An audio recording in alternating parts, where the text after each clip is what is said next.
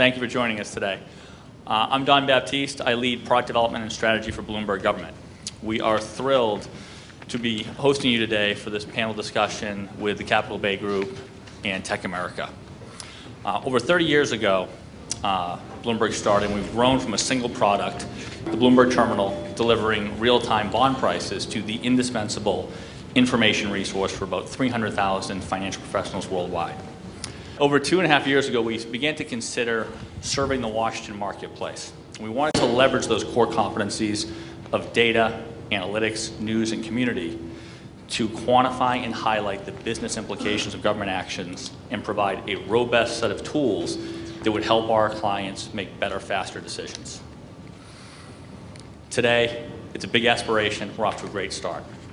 Every day, we're creating proprietary, unique content that addresses the issues that are critical to both business and government leaders. In fact, I'd say our super committee uh, analysis and budget analysis has been second to none.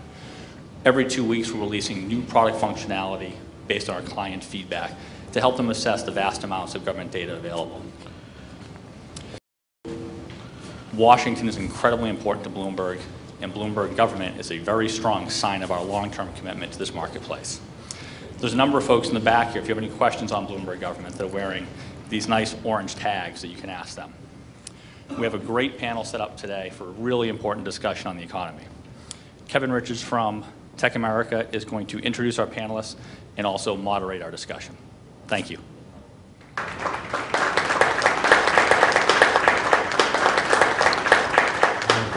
Well, um, thank you. Thank you for that introduction. And uh, thank you to uh, Bloomberg Government for hosting today's session and uh, to our, our, partners at uh, Capital Bay Group. Um, I'm Kevin Richards, Senior Vice President of Federal Government Affairs for uh, TechAmerica.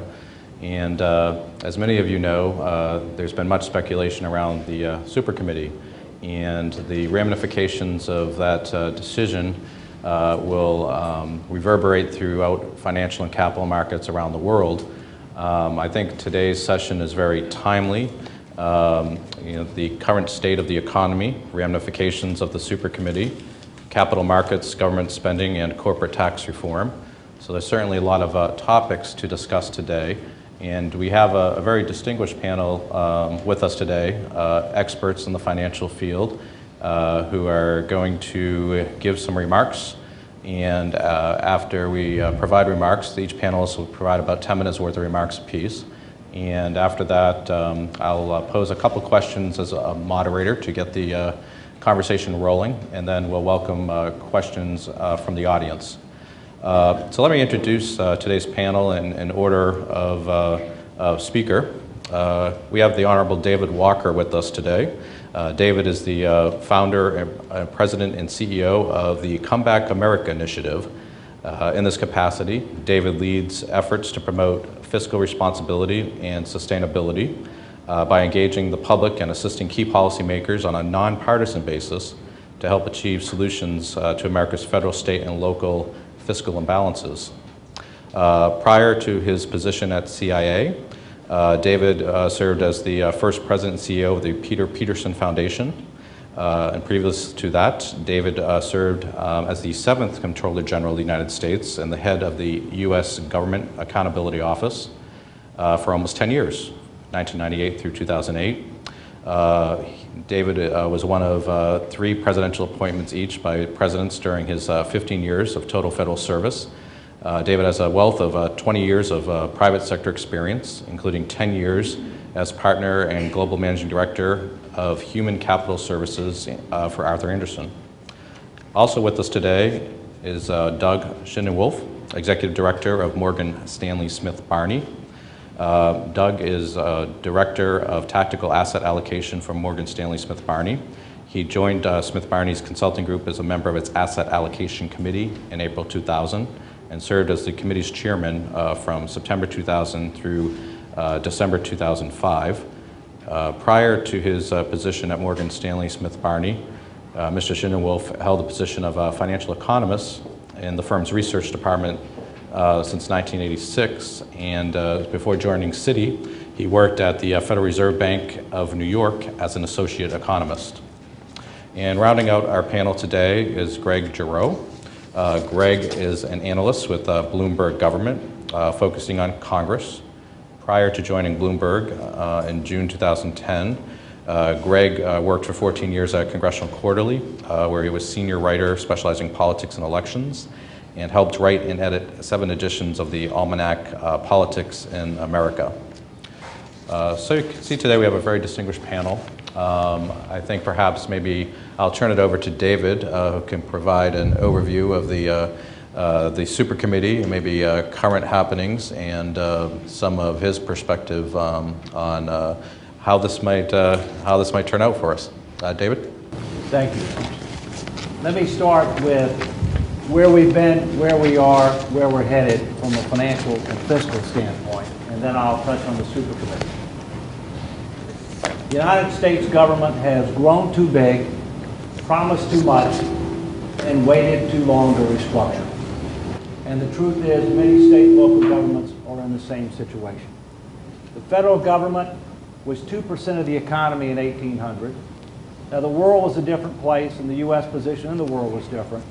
But for the year just ended, September 30, 2011, it was 24% of the economy, and it's headed for 37% of the economy on autopilot, absent a course correction, by 2040. In 2040, government would be a majority of the U.S. economy, absent a course correction. I'm not an anti-government person. Government has an important role to play. Some of the most capable, dedicated people I've ever worked with are public servants. But the fact is, government is not the engine of growth, innovation, and job creation. Uh, so, and if you look at our financial condition, it's much worse than advertised. We all know about the 1.3 trillion dollars in deficit last year. We know about the 15 trillion in debt. But believe it or not, that's not the problem. The problem is what's off the balance sheet tens of trillions of dollars of unfunded promises for Medicare, Social Security, a range of other commitments and contingencies that don't represent deficits and debt today, but will represent deficits and debt tomorrow, absent a course correction. Medicare, based upon reasonable and sustainable assumptions, $35 trillion underfunded. The recent Affordable Care Act uh, will cost us a lot of money if it's not ruled unconstitutional. The chief actuary of Medicare estimates it will cost $12 trillion more in discounted present value dollar terms than the politicians advertised.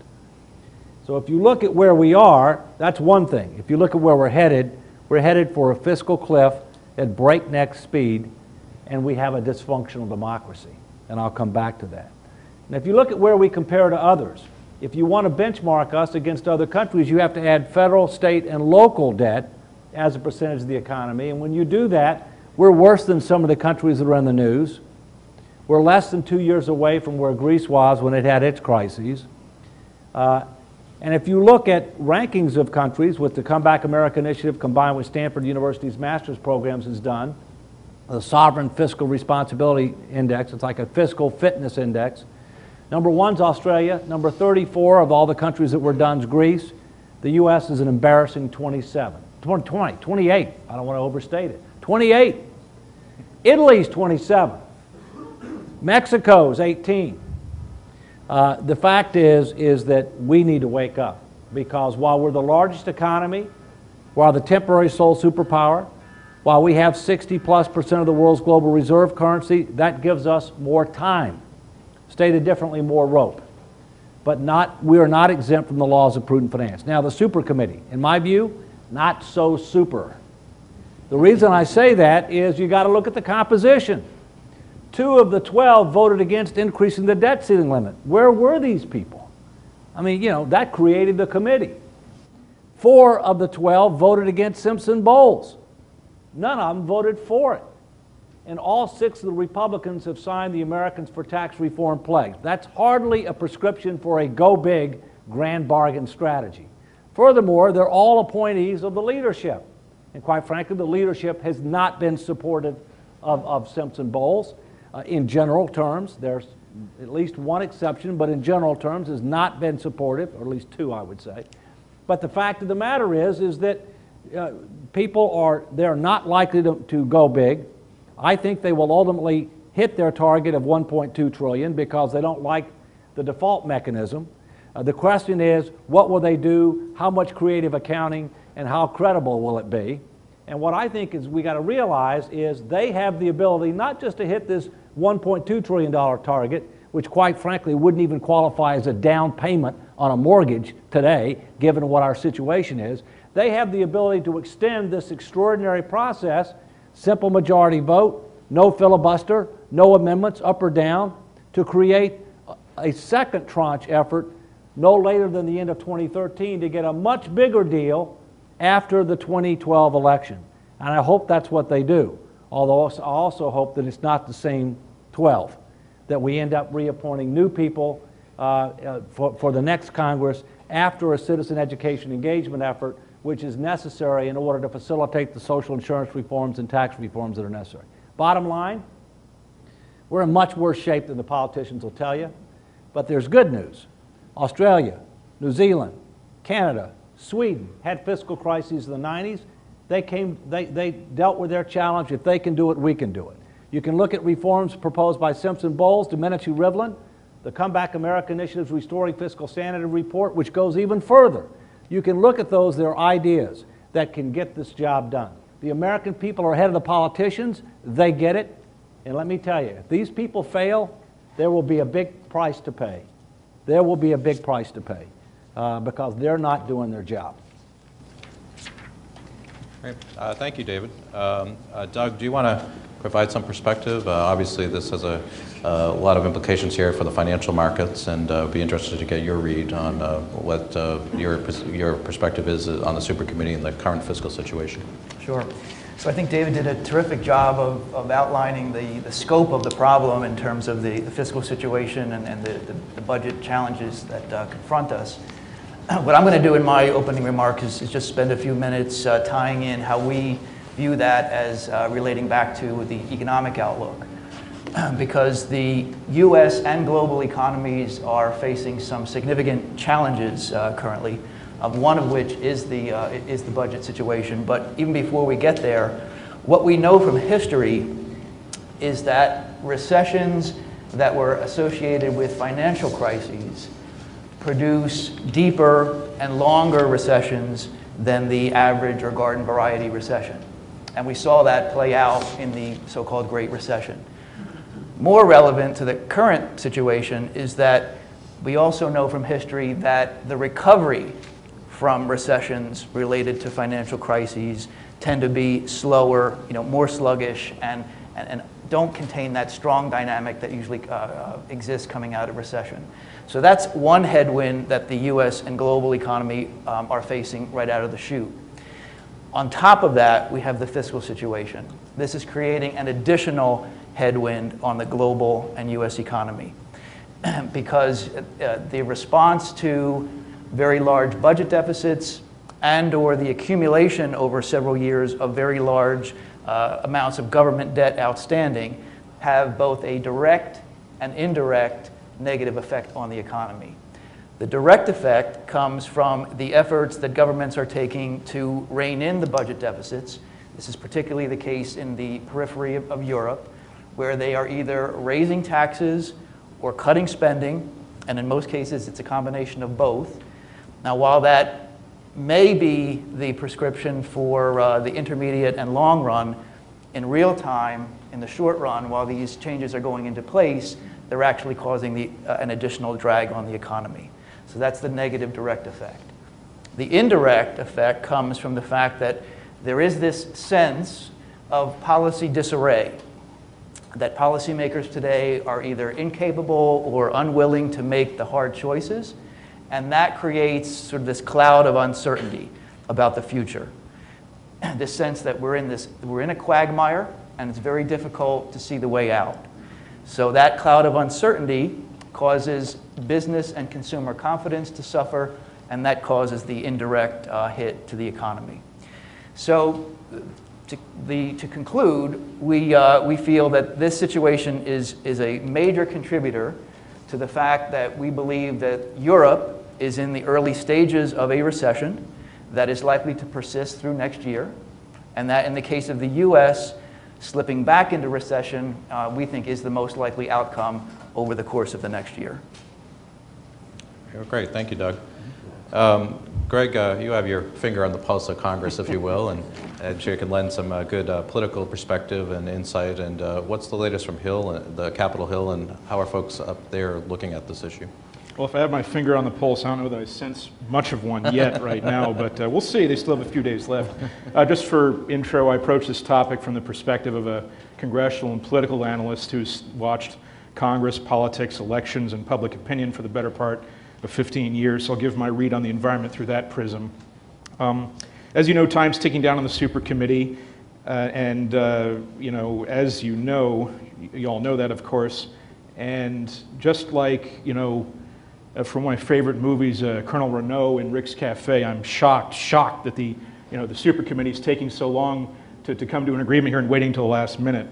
It's very tough to say what it will do. You know, sometimes I think a magic eight ball may provide more clairvoyance about this issue than you know some of the stuff you're hearing from the principals. You hear guarded optimism or pessimism. Stories today talk about how you know they're uh, really hardening their positions. But I do think you can't underestimate the uh, ability of Congress to you know uh, put together something at the last minute in a slapdash fashion. It won't be pretty. It uh, won't even be a down payment, as David mentioned, but um, I think you know they can probably get at least a baby step there. We've seen this happen with Congress before, where you know something happened a week out. This, happened with the debt, uh, the uh, the uh, the debt deal that created the super committee in the first place. About a week before uh, that became law in the summer, it looked pretty bleak that they'd come to an agreement. They came to one, and that created the super committee. And while we still have a few days left, you know, I still think that they can come to an agreement. That's my gut assessment: is that they can get to at least a minimal agreement. Forget the uh, the, the, the four trillion dollar thing, uh, the, the the big deal at this point. Um, you know, maybe that'll get done down the road, but with time uh, running out, I think a minimal 1.2 to 1.5 is probably where, where they're going to go. I think they'll do it, um, or at least I have uh, some guarded optimism they'll do it, in part because a deadline, you know, like a guillotine, the saying goes, as a way of focusing the mind. And uh, they don't want this $1.2 trillion of, of automatic cuts. No one wants them, especially to defense. We're hearing bipartisan opposition to that. So um, I think you know, they, they created this super committee with that, you know, that uh, disincentive that's uh, really appetizing to no one. Um, I, I do think that, I guess maybe I have guarded optimism they'll get something done in the sense that I think Congress you know, remembers it's not that long ago what happened during the financial crisis of 2008 and how that hit the markets and how their constituents responded to that. And I think they're going concerned about what's going on in Greece and Italy, and they're mindful that you know, the, the debt crisis in Europe could have ripple effects in the United States. And while no member of Congress wants to vote for a bill that raises some of their constituents' taxes or cuts some of their federal benefits, they also don't want inaction to cause, you know, make them make their constituents pay more for houses and cars in the form of higher interest rates, and uh, to see their 401ks plummet if the markets uh, have an adverse reaction. And I think one more reason why I think there's at least a glimmer of hope for a compromise is you're starting to see the parties kind of relax their, their, you know, their really hard negotiating positions from the beginning. The Republicans against any revenue, the Democrats for a trillion dollars or more. We're seeing the Republicans propose what they say is about $300 billion of new revenue, uh, mainly through kind of curbing some so-called tax expenditures. And the Democrats are, have kind of come down a little bit from their hard number. And you know, and the art of compromise, obviously, is you're not going to get 100% of what you want. You're not going to get 80% of what you want. So I think that's, that's a hope for optimism. Having said all that, though, you know, whether they succeed or fail is you know, in the eye of the beholder. You know, um, if, if you see them you know, pass a 1.2 to 1.5 trillion dollar package and they, declare success and go home for the holidays, well, as David mentioned, that's not much of a down payment at all. They still, they're just making a, a dent in a, a, much bigger fiscal problem. And it's, it's just the, the bare minimum that they're going to be achieving if they just get to 1.2 trillion over 10 years. A couple words on public opinion. I think they may agree to something because I think the public is outraged. They have a, a very low approval rating of Congress. You know, the Gallup poll uh, two days ago that came out had it at 13% approval. And my, uh, my first two thoughts on that were, you know, who are these 13%? And secondly, did the poll have a 13% margin of error? Um, but in other polls I've seen, you know, about 60% or so of people want the Congress to come to a compromise in the super committee, uh, even if it means kind of going against some of your core principles and meaning you have to compromise. Um, so and that's true of Democrats, Republicans, and independents as well. And so I think the public wants them to do it. Um, and uh, I don't think the Congress really wants to risk, uh, you know, uh, advancing the ire of the public any more than it already is. You know, I, and I think that, you know, if you if you asked voters about, you know, would you support higher taxes or cutting Social Security, they're going to, you know, they're, they're, if you ask them one by one, they're probably going to reject them all. But I think here the whole is greater than the sum of its parts. Um, you know, I'm reminded of um, this during the financial crisis of 2008. I'm reminded of this uh, Saturday Night Live weekend update skit that had uh, um, Jimmy Fallon interviewing a financial expert played by um, Kenan Thompson, and um, he. And you know, Jimmy Fallon just kept asking him questions. Well, how do you propose to fix the financial crisis? And the answer that the financial expert played by Thompson always said was, "Fix it." And every time he'd ask a specific question, it was always, "Fix it, fix it, fix it." And I think that there's a in all seriousness, I think there's a strand of that thought among the American people that they just want the super committee and the Congress to fix it. And I think they realize that they have to swallow some you know, medicine now uh, to avoid what could be uh, bigger problems you know, down the road. As David mentioned, you know, it's um, a, big reason why it's so difficult to get this through um, is you know, the super committee is um, this is not a, a, model of bipartisanship. These are people who are, you know, kind of line up with their parties on most of the major votes.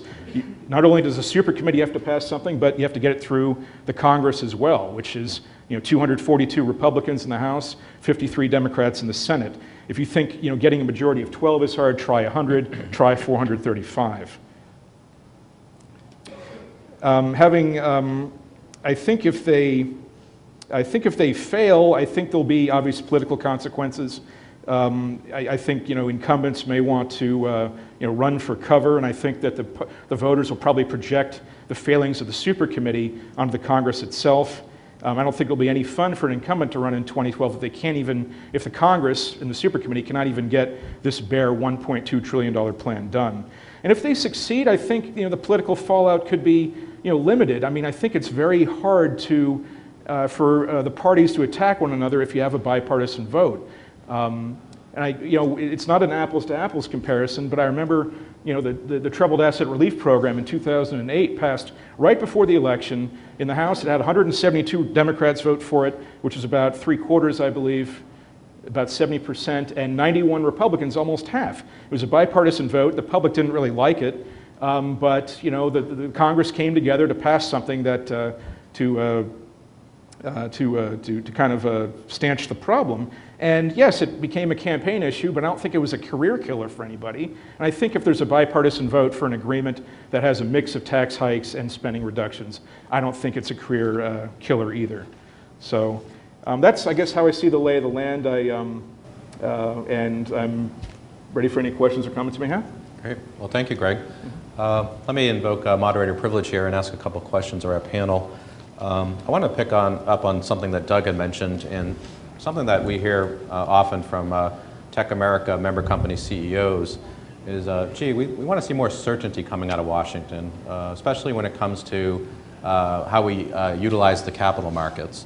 and it sounds like from David's comments that, and our, the rest of our panel that 1.5 trillion is not necessarily um, a, a high goal to reach for when it comes to debt reduction uh, even with 10 years of uh, nominal GDP growth at 4.6%, uh, the debt would increase from 9 trillion to 20 trillion. Um, so if the super committee does meet their mark of 1.2, 1.5 trillion, uh, what's next? Um, should we hold them accountable in 2012, 2013? David, I know you have uh, some views on that. Uh, there was a bipartisan group uh, yesterday, uh, 150 members on both sides of the aisle advocating for a large-scale debt reduction plan, uh, anywhere between four and seven trillion. We've heard numbers. Uh, so I'd be curious to um, to hear the panel's views on is 1.5 trillion en enough, and if not, what's next? Is there going to be a super committee too? You want to go first? Um, I believe that as, as I said before, this committee is not going to go big, but it's critically important that we go big, and there is nothing that precludes this super committee from meeting their target of 1.2 to 1.5 and recommending that a new body be created, doesn't necessarily have to be them, that would have the same rules, a simple majority, up or down vote, no amendments, no ability to filibuster, that no later than the end of 2013, there would be a second set of recommendations for much bigger deficit reduction, at least 3 trillion, uh, that would be accomplished through a combination of social insurance reforms, Medicare, Medicaid, Social Security, as well as comprehensive tax reform that would broaden the base, lower rates, lower top marginal tax rates, among other things, but that would generate more revenues uh, in a more intelligent fashion. I think you can do those together. In fact, politically, you probably have to do those together. Uh, And what I think is important to maximize the chance that that will get done is not only to recommend, recommend extending the extraordinary process, but a public engagement uh, and education campaign, because what I found, having gone to 49 states, is that the public is ahead of the politicians. When you provide the contextual sophistication and help them understand that we're talking about the future position of the United States in the world, our future standard of living at home, and quite frankly, the future domestic tranquility in our streets. When you put it on that basis and help them understand that we have no choice but to make tough choices. The question is, are we going to do it prudently, preemptively, or wait till the markets force us to? They get it. And so I see a clear way forward, and I'm hoping that the committee will follow that path. We'll find out next week. So, I- you know, I think your original question was, is, is one and a half or 1.2 trillion enough? And clearly, the answer is no, it's not enough to solve the deficit problem. Um, It's one and a half trillion over 10 years. The deficit is running at about that each year. So it's nearly, it's not nearly enough, but it, it probably is enough to keep the credit rating agencies from further downgrading the, the rating on the, on the Treasury debt, which is an important aspect here too, because it will at least show that there is incremental progress being made on deficit reduction, and I think that they'll read that as sufficient for now for not uh, downgrading the debt.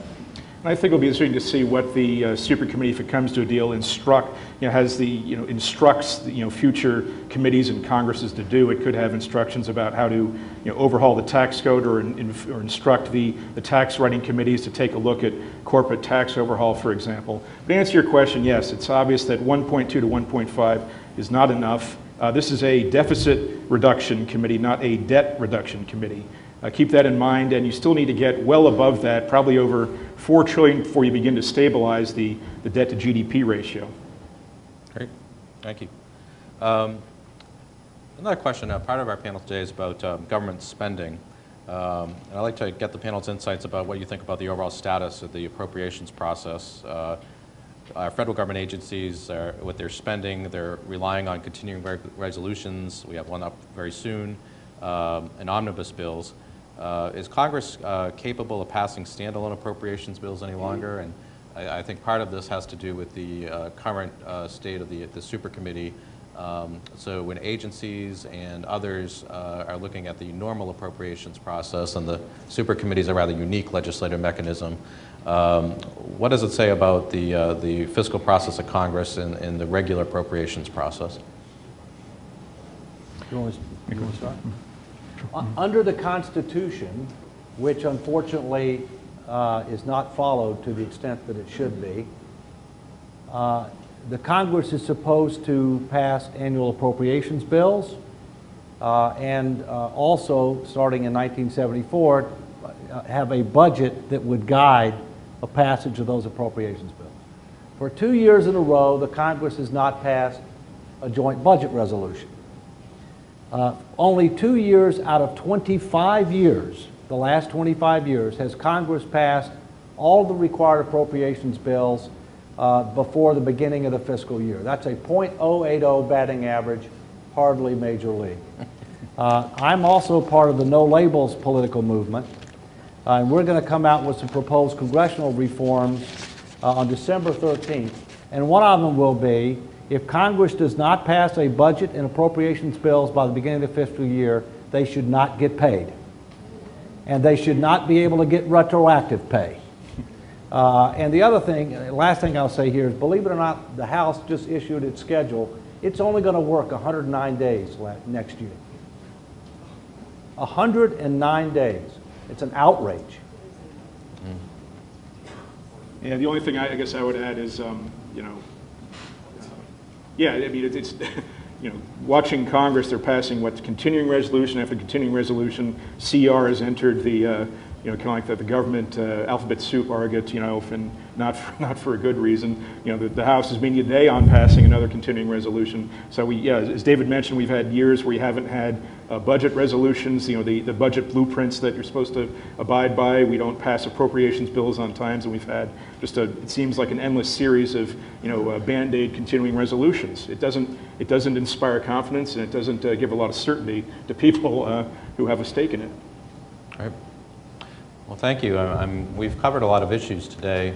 Uh, I'd like to open up uh, uh, the questions to the floor, and if I can request that you please provide your name and organization, um, we'd uh, like to take questions now, please. Mark Rule, Tower Swanson Investment Services.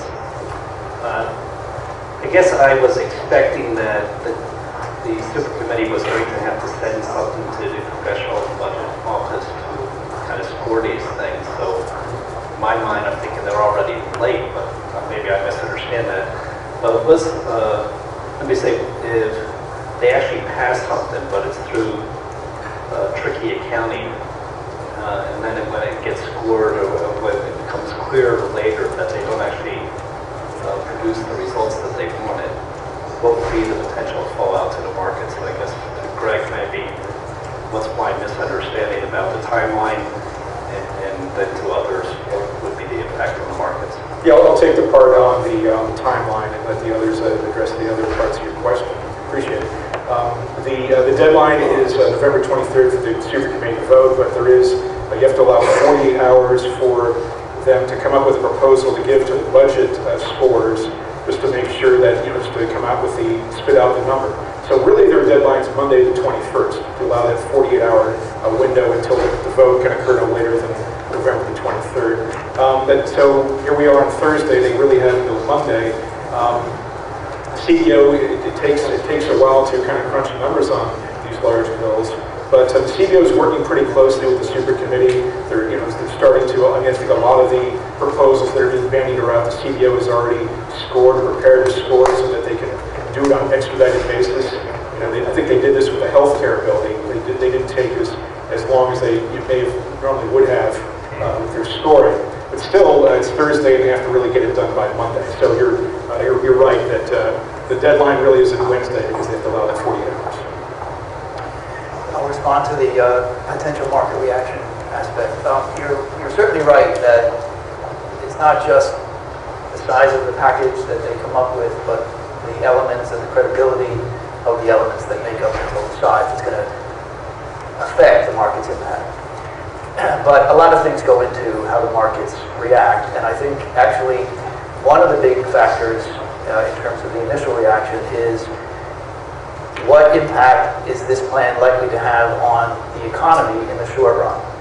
And I say that because current policy has entrained some fiscal drag that's going to start uh, hitting the economy early next year unless action is taken to unwind that. Specifically, there was a temporary payroll tax cut that went into effect at the beginning of this year that expires at the end of this year.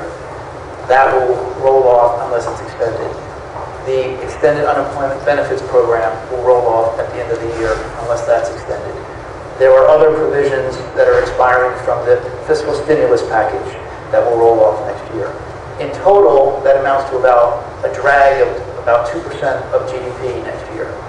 Now, what we think is that the, the uh, payroll tax and the unemployment benefits will probably be extended, and that will reduce the drag to about 1% of GDP. But it's still drag into next year. So, back to your question, whether or not the super committee addresses the payroll tax expiration and the unemployment benefits expiration may have a big influence on how the market responds to their proposal. It's possible that they'll roll in the extensions into their proposal, but if they do, they're going to have to make the cuts that much bigger to hit their 1.2 trillion target. So if they don't address it, it'll be left to the Congress to enact it or extend these by the end of the year. But that kind of a combination would probably produce a, uh, a negative reaction in the financial markets, I think. If they don't extend those provisions, and that means fiscal drag is, is, uh, is coming early next year. As a certified public accountant and a former auditor general of the United States, I'm uh, accustomed to seeing people try to use creative accounting, especially in this town. First, they've got to decide what are they going to use as a basis to keep score. In other words, what baseline are they going to use? The current law baseline after the deficit reduction deal, after the, the debt ceiling increase deal that was done in August, is about 3.2 trillion in deficits over the next 10 years. The one before that was about 4.5. The current policy baseline is about 9 trillion, and then President Obama's baseline was 10.4 trillion. So first, on what basis are you going to keep score, all right? Because that's a credibility issue right there. Generally, the CBO is going to go based on current law. They're also not going to consider dynamic scoring. In other words, to what extent does it stimulate the economy, therefore you might get more than under a static situation. Uh, I think you also have to say, well, what are the components of how they get to the 1.2 to 1.5? All right. Uh, for example, if you merely uh, say that we're going to take our troops in Southwest Asia down to 45,000 by 12/31/2014, that's a trillion dollars over 10 years as compared to current law. Now, that would not be viewed as credible if it, in my view, if it was part of the 1.2 to 1.5. If, on the other hand, you were able to do things to get real 1.2 to 1.5 and then add that on top, all right, as gravy rather than as an element, I think that would be an acceptable thing and a positive thing to do. Uh, the other thing they can frankly do is, if we get more detail, is they don't want the sequester, they don't want the automatic sequester, take half of it. And then figure out how you're going to figure, do the other half. And to do that, it's going to have to be on mandatory. It's going to be on, have to be on mandatory spending and on the revenue side. We might get into that. There is a path forward for them to hit 1.2 to 1.5 uh, without comprehensive tax reform, without comprehensive social security reform, uh, and even do more if you do the thing on Southwest Asia. Uh, there's a pathway forward. The question is, will they do it? Charles Colligan of CoStar Group. My question is regarding any potential cuts and whether those cuts would disproportionately impact certain sectors of the economies or regions of the country. For example, might we see a reduction in government employee in government employment in the Washington region?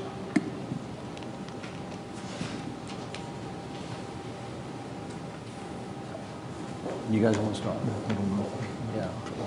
I haven't analyzed the details of it. Most people will tell you that the way that they would try to handle it first is through hiring freezes uh, and through not, not replacing uh, rather than layoffs. Uh, I haven't run the numbers to find out whether or not that in fact will get the job done. Uh, But I think we also have to recognize that just as many state and local governments have huge unfunded obligations for pension, retiree health obligations, and other things, so does the federal government. Uh, And in the absence of restructuring those types of obligations, you know, you don't have a whole lot of options but headcount. Uh, You know, I mean, after you look at contractors. And so that's why I'm saying we need to take a more holistic approach uh, because in many cases, what we've done is, you know, we're taking short-term steps, we're treating the symptoms, we're not treating the disease. Uh, We need to start focusing on the disease. Yet I would just piggyback on that and just point out that state and local governments have been confronted with balancing their budget by, by constitution, and one of the ways that they've been doing it is through headcount reduction. Uh, declines in employment at the state and local government level have been a persistent pattern over the last several months in our employment data. Yes, sir. John Yepman, Capital Bay Group. Can we go from macro to micro and talk about what that means to our portfolios, both now and, you know, into the future? I just got through reading Fareed Zakaria's book, Post-American World, and, you know, he's contrasting Great Britain, back when the sun never set on the British Empire, and looking into China and India. Um, a report that uh, Morgan Stanley just put out said 80% of the growth, uh, future growth of the world would be in emerging markets. So should we be adjusting our portfolios to take uh, advantage of those sea changes in growth? How does the U.S. position relate now and then into the future?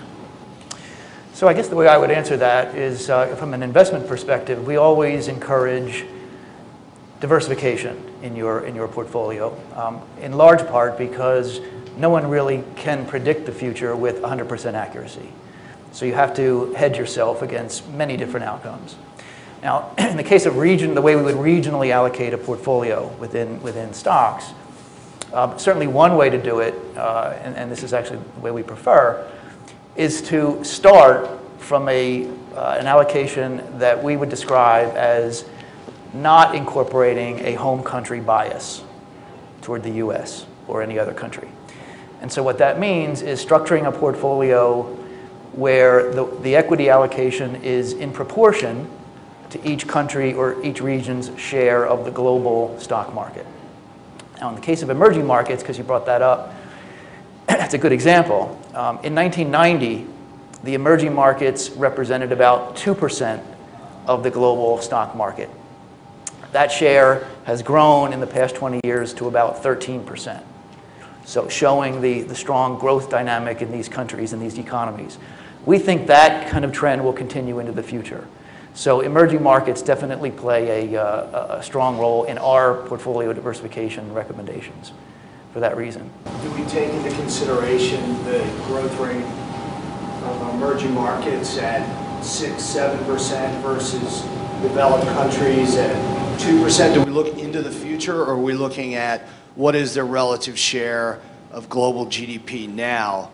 And I just recall back, I got into business, it was like 1981, Japan was maybe 30% of the world's global GDP, or some big number like that, and it's, I don't know, maybe 7% today. Right, well, we, we look at both. We look at history and we look at expectations. And so we know, again, using the emerging market example, we know that historically their market share, again, this is not GDP share per se, although that would be similar, looking at share of global, the global stock market capitalization has grown from 2% to 13% over the last 20 years. So the only way for that to have happened is that these markets have grown in size relative to other markets. And of course, a big part of that is the growth dynamic in their underlying economies, which we expect to continue into the future. But what I hear you asking is, uh, all right, do you, do you do your asset allocation on the 13%, or you, or do you have something more than 13% because you expect that to outgrow? Uh, or is that what you're asking? Yes. All right, well, I'm not a registered investment advisor, so I'm not going to answer you. but there may be somebody else. All right, so I'll, I'll pick up on that. we start with the 13%, but then we are, uh, also make recommendations on a shorter term, what we would call a tactical horizon, and that can either be an overweight or an underweight, depending on our view. In the case of emerging markets, it is an overweight, so in our tactical view, we are going beyond that 13%. And that incorporates the, the, the one big factor in that is the expectation that the growth dynamic, the growth numbers in these emerging economies is going to continue to outstrip the growth rate in developed economies, especially since we think most developed economies are going to be in recession within the next year. Uh, other questions from the audience, please raise your hand. Uh, gentleman here in the uh, fourth row in the middle. You have a microphone. Larry Bruiser, Mitsui USA. Um, recently, a lot of Repub- well, some Republicans are starting to get restive over Grover Norquist's pledge and how this might get in the way of debt reduction. Uh, do you think this is a significant movement, or is Norquist going to still hold sway over the party? Well, first, my personal view is there should be no pledges to special interest groups, period, whether they be on the right or the left. And that anybody who's willing to make a pledge to a special interest group is basically elevating that special interest group over their duty of loyalty to the country. Uh, and the simple fact of the matter is when you look at the, no the numbers as to where we are, you can't grow your way out. You can't inflate your way out. You can't just tax your way out. You can't just cut your way out. So everything's going to have to be on the table. Secondly, when you look at Grover's pledge, he's got two. One is for state and local government, which is basically no new taxes, all right, no, no tax increases, no tax increases. That's not what it is for the federal government. For the federal government, it says two things. You will not raise marginal tax rates, and secondly, you will not reduce deductions, exemptions, credits, and exclusions unless it's coupled with a reduction in marginal tax rates. That begs the question, compared to what? Compared to current level of revenues? Compared to historical, historical level of revenues? Or compared to current law uh, level of revenues? That's why what I argue is, let's do comprehensive tax reform. Let's compare it to current law. If you do that, under current law, revenues are going to 23.3% of GDP by 2035. That's too high. So let's compare it to current law with a restructured tax system and let's cap it at 20.5 to 21.5% of GDP. And on that basis, that's called a tax cut as compared to current law. So part of the issue is, is people frankly have to understand what they've signed. And, and you know, No Labels, one of the groups that I'm involved with, has, cause for, has called for elected officials to rescind and reject all special interest privileges, whether it be ATRs or there's some on the left dealing with Social Security and Medicare. Those are just as bad.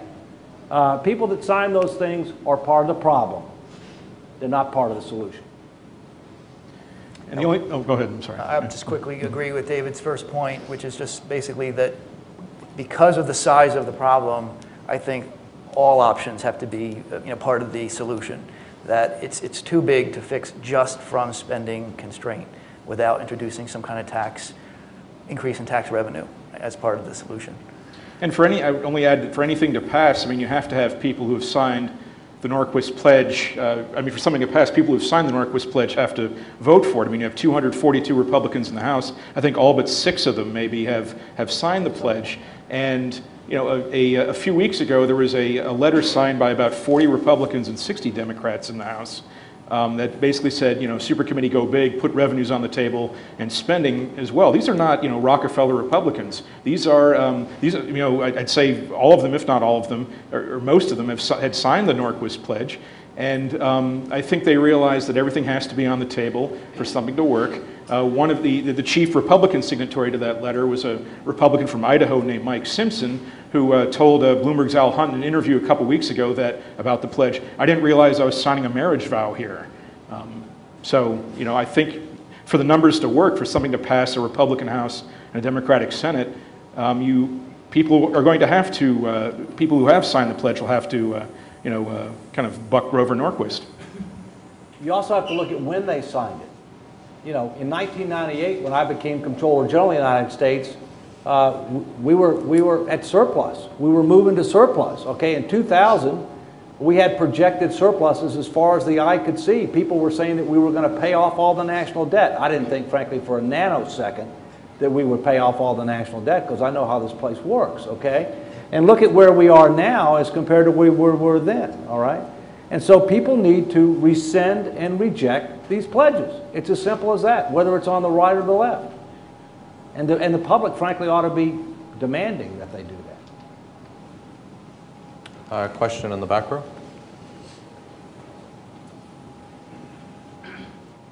Hi, I'm Tom Rignanti with Citibank. Um, I have a political question for Greg. Um, it has to do with divided government. Um, it seems like in the past where we've had um, divided government, but we've had issues come up, um, we've had um, leaders on both sides get together and and solve some fiscal problems.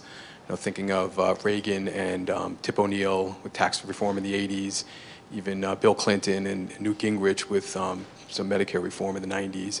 But who are the leaders today? You know, as you're following the Hill, you know, who's, who's, who are the leaders that are emerging that um, are the compromisers? Um, you know, the public doesn't seem to see that.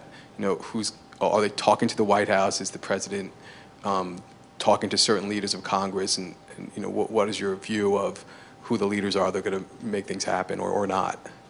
Yeah, well, the, the Congress is a, a much different place than it was 20 or 30 years ago. It's become a lot more polarized. Um, that owes for a lot of reasons. I mean, you have um, uh, essentially a Congress that, uh, you know, the Republicans are mostly, you know, conservative, right of center, use your favorite word. Democrats mostly liberal, progressive, use your favorite word there too. You don't have much of a middle anymore. You know, back, um, Uh, you used to have a, a large, vibrant, uh, you know, uh, moderate Republican wing in the Northeast, and you had a large kind of group of moderate to conservative Democrats in the South, and um, you don't have that anymore. You have uh, two parties that, um, you know, that have, I think, very stark philosophical differences, probably starker than I've seen in a long time. So it's very hard to bridge those differences when, uh, you, uh, when you have the two parties as far apart as they are.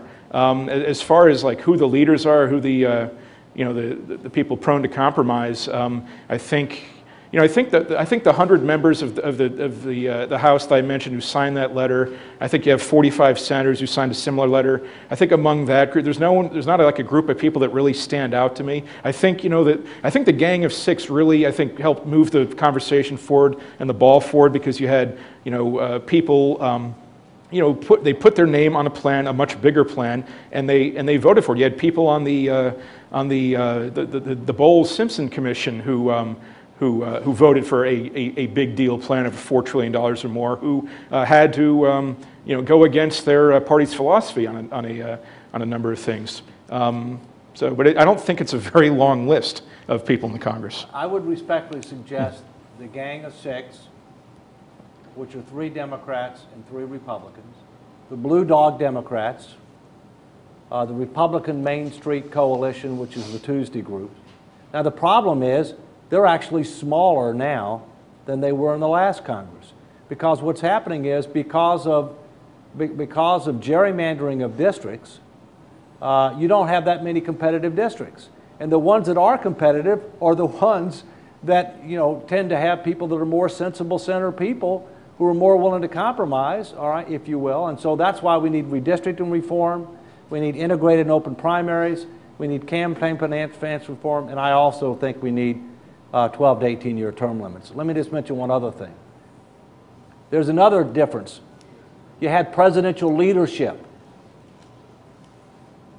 and you had a willingness to come together to do what was right for the country. But frankly, the last time we did enti major entitlement reform was Social Security, and that wasn't a great degree of leadership because the checks weren't going to go out on time within a matter of months. They had no choice. They had to do something the so-called trust fund, which is a trust the government fund, was about to go was about to go dry.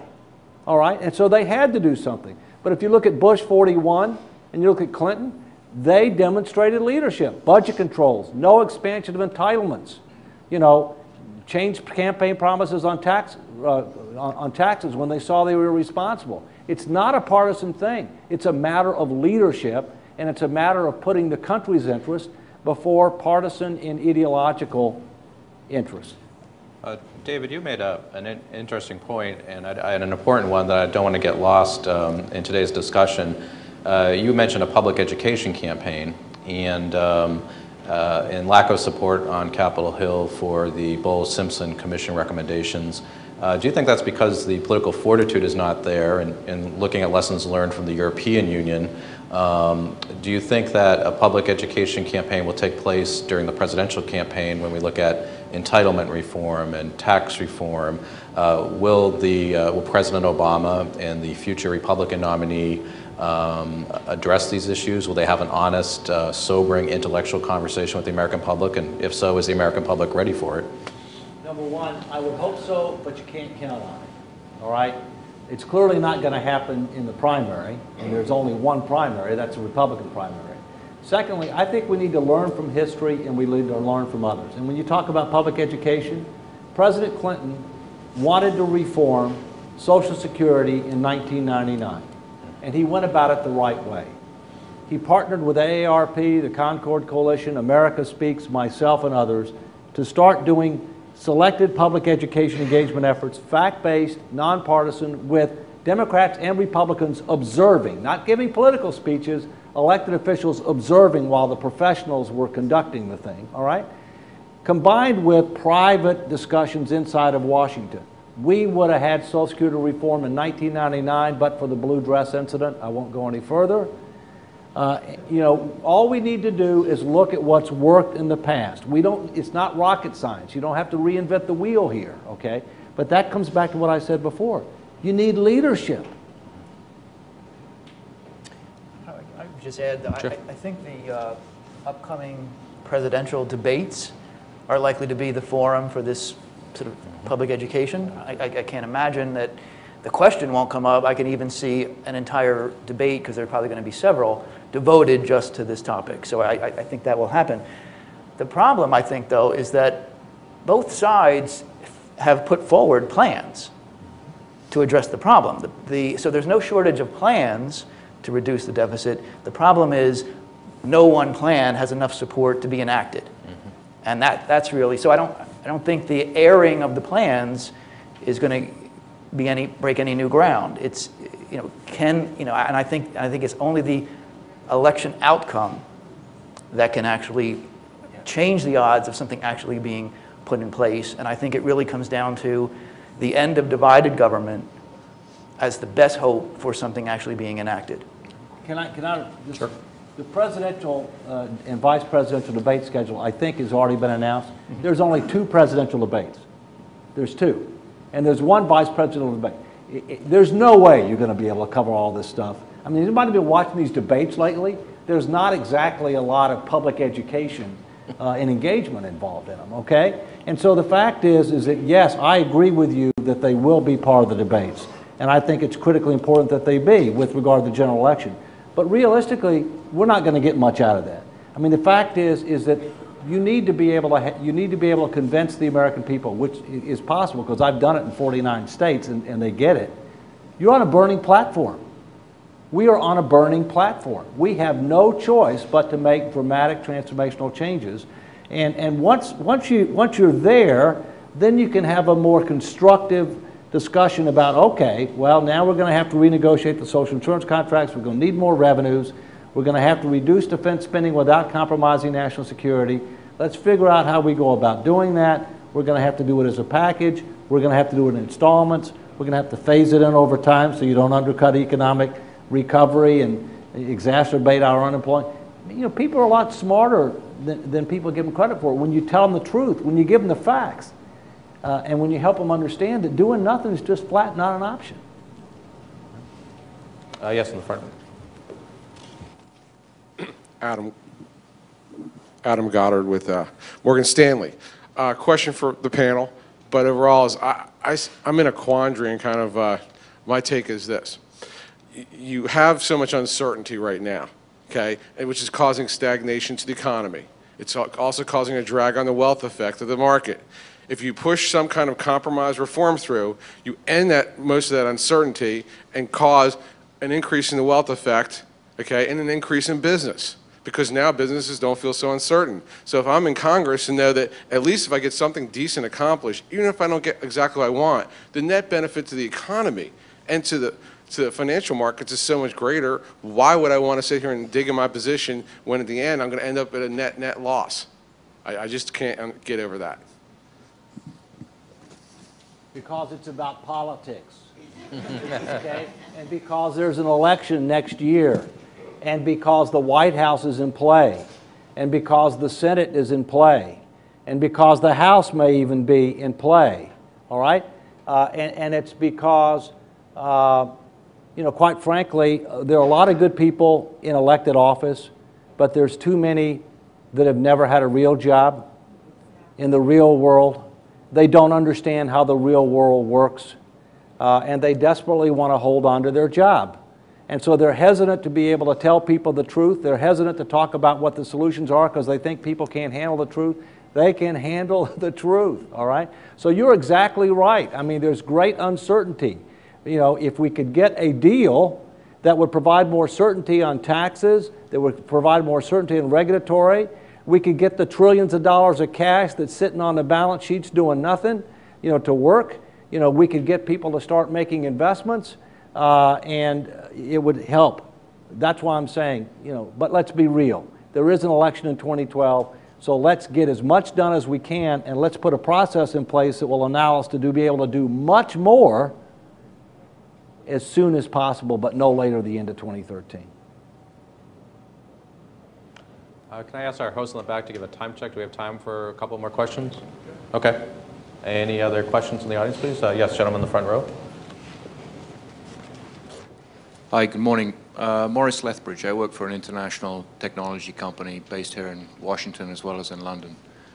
Um, I want to touch on a couple points you, you uh, the panel has brought up regarding education and also it's not going to happen here.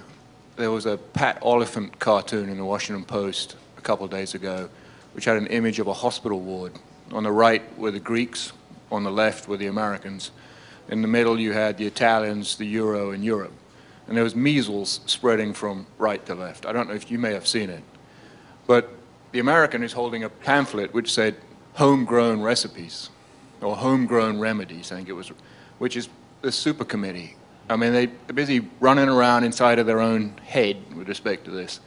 And the Europeans are all looking at each other going, I'm, I don't want to catch what he's got. But the American the image of Uncle Sam was his homegrown remedies.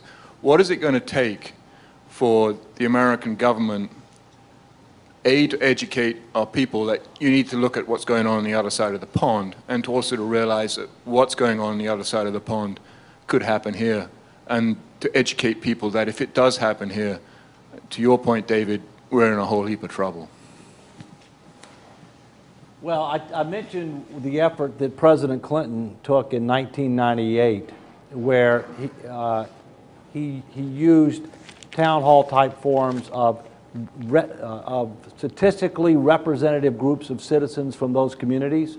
So you, know, you had a good sense uh, uh, as to who it was. But today, we now have so many more capabilities technologically, okay? The web is much more robust. We have social networking. We have so many other things at our disposal today that could be possible. Uh, let me tell you something else that's being talked about now, and I don't know whether or not this will become a reality or not, but I've been recently approached about the possibility of doing a people's primary.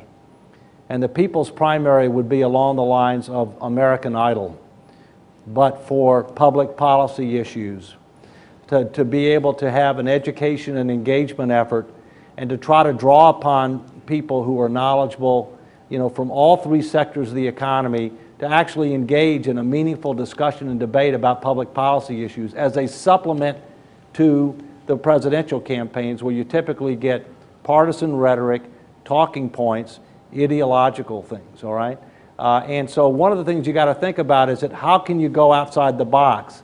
How can you do things that will reach millions of Americans, all right, uh, in ways that might engage them. Uh, because right now on television, quite frankly, and on radio, we have too many fact free zones. We have people with lots of opinions, typically the right and the left, but very few facts. But if you look at the Arab Spring, yeah, yeah, Arab social network was driven by social Absolutely. network. You've got this Occupy Wall Street crowd, yeah. and you would have thought I think most people in the room were kind of, oh, maybe this has some potential to be a voice of America. But it died. And it, it didn't spread through social network. And as somebody who's new, a new American, there is this sense of culture here, as in, it won't happen here, I don't need to worry about it. And they're wrong. Right, It- it they're can't wrong. It's going to happen here, but wh- why, why don't we as a, a country, and you guys are thought leaders, why didn't the rest of the country get behind Occupy Wall Street through social media? Why didn't it take off? Why didn't it become like the Arab Spring? Because Occupy Wall Street was a manifestation of dissatisfaction in several ways. High unemployment, higher underemployment, declining real wage growth, growing gap between the haves and the have-nots in many different ways, all right? Shrinking middle class, all right? Uh, you know, I mean, you know, the federal government provided hundreds of billions of dollars for bailouts, and nobody has been held accountable for what happened. I mean, there were good reasons for Occupy Wall Street to happen, just as there are good reasons for the Tea Party to happen. But if you don't have an agenda, you're going nowhere. You're going nowhere. Yeah. Uh, Other questions from our audience? Uh, Yes, gentlemen in the back on this side, please.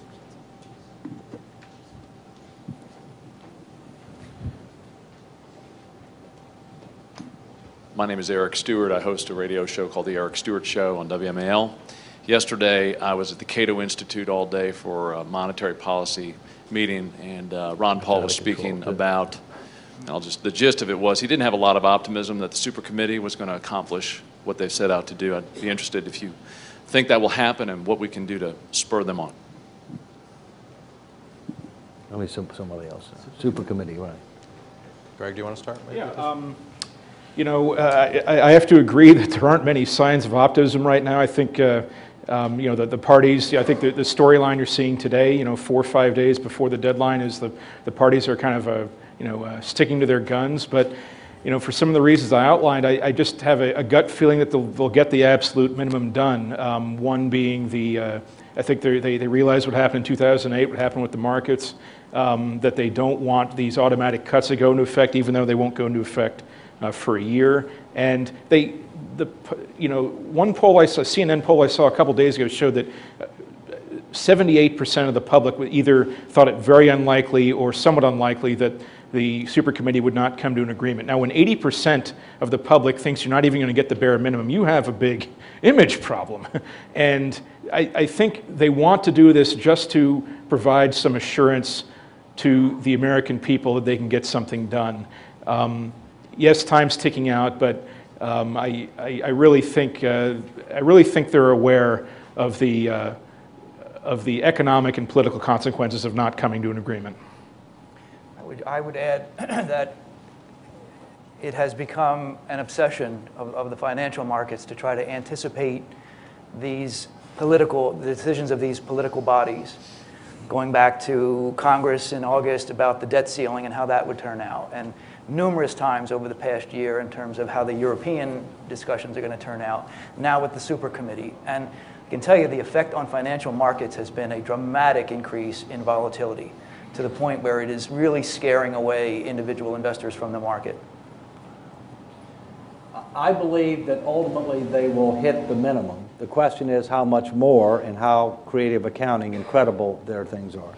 Because I think they recognize, not only do they not want the automatic cuts to come into place, uh, but they recognize that the capital markets would likely respond very adversely if they didn't.